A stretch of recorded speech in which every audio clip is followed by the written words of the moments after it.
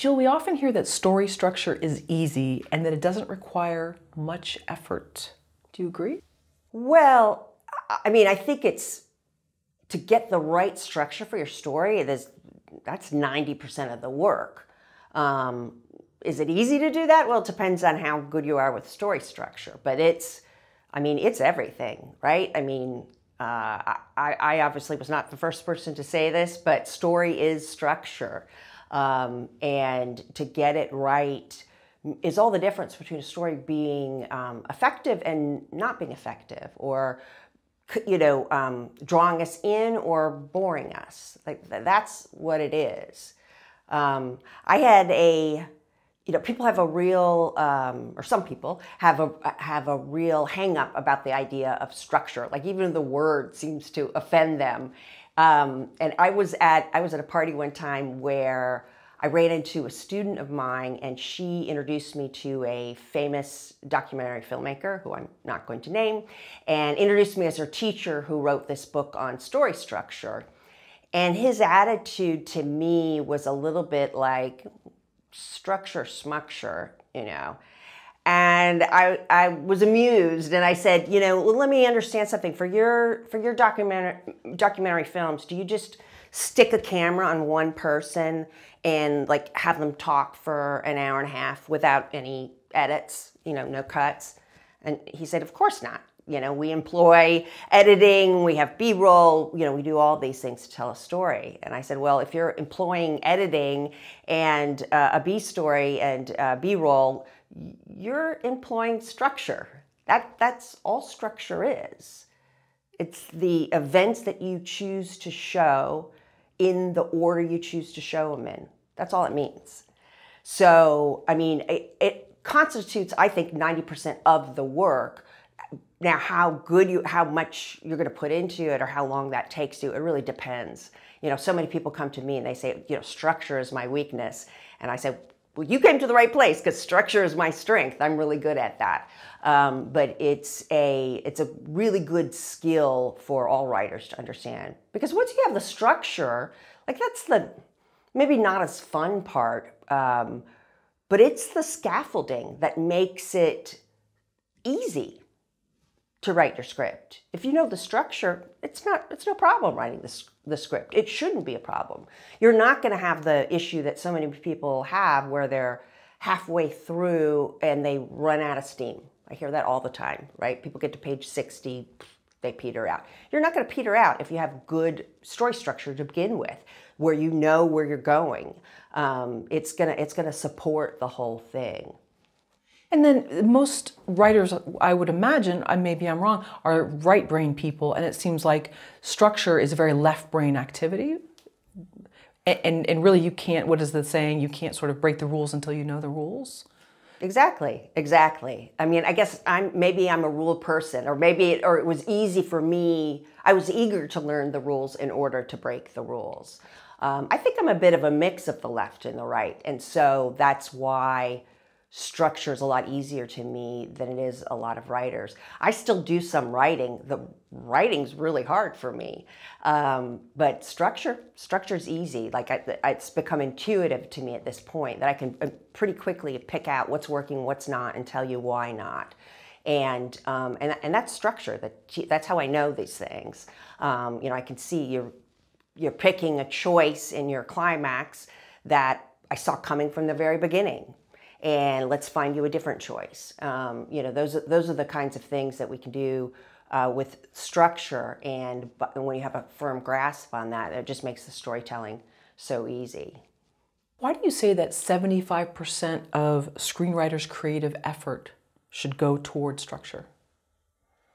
Because structure is everything. It's going to make your life easy. You know, what, what we're doing with structure, eh, particularly when I'm using my method, my nutshell technique method, is I'm setting up things, helping you set up some things that happen in the beginning and that happen in the end. And those things aren't random, they're, they're connected. And if we set them up properly, it does all the heavy lifting of holding up your story, holding up the bulk of your story, where which is the, the middle, the, the, the second act, um, which is twice as long as as the first act or the third act. It's twice as long, but if we have the right structure, um, it's going to hold it up, even though I don't have any structural elements really in the second act.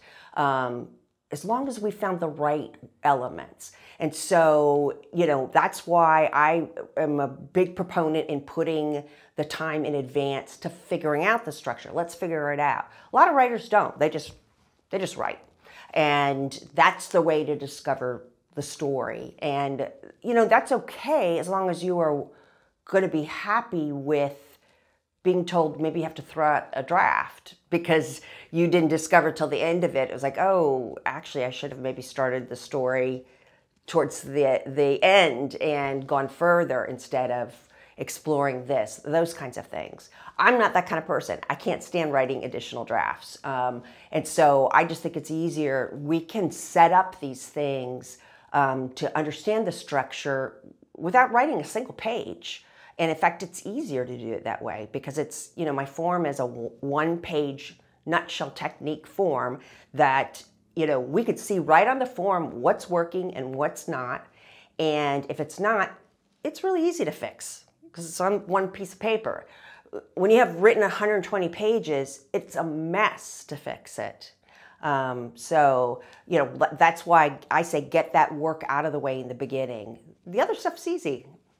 Sure, and it's almost like a game of Jenga or dominoes that if you take yeah. one little piece, the rest of it will collapse. So exactly. it's not just that easy. Yeah, or even if you have a vague idea of what your structure is, like you said, it's, you know, one piece can make it collapse. You get in a certain way and you realize, oh, this isn't actually working the way I thought it was, and um, but now you've written yourself halfway through, and you know, do you want to go back to the drawing board? A lot of people don't.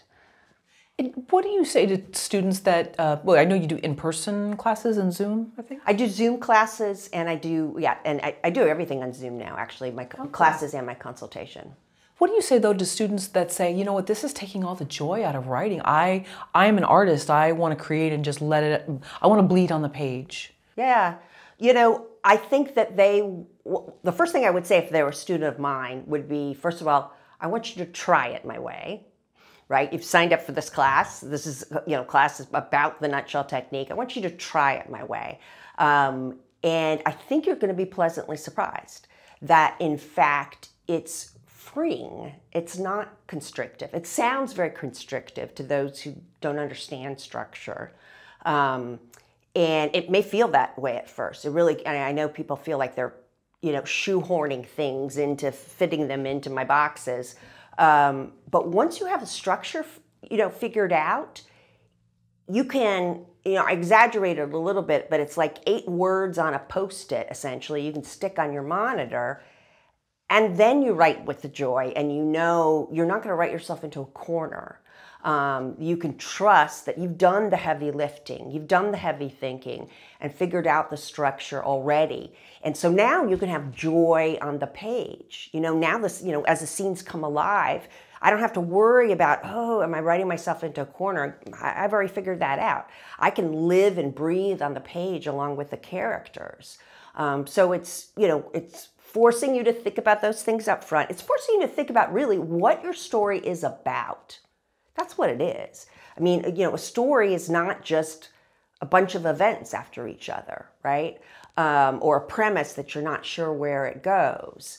Uh, a story is going to impact us, and and it has meaning, and it's not likely you're going to randomly come across that meaning.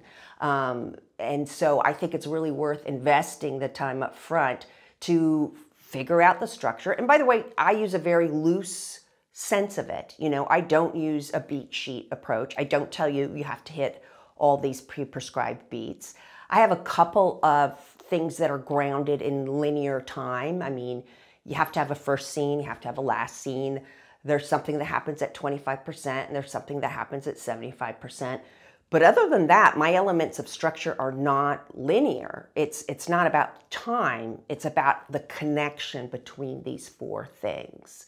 And so if you figure that out in advance, then then you're going to be able to have joy in the page. Then you're not going to have anxiety in the page or or end up writing 140 pages that end up you know, being a long situation that doesn't really have a point to it. You've already figured out what the story is about ahead of time. And so now you can experience the joy of letting the characters come alive.